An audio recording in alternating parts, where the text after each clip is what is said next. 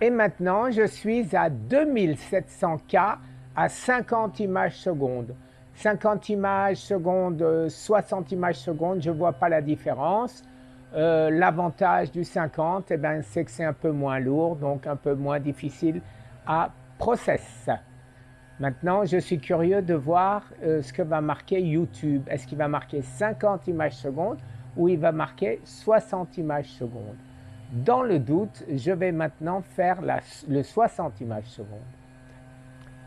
Stop recording.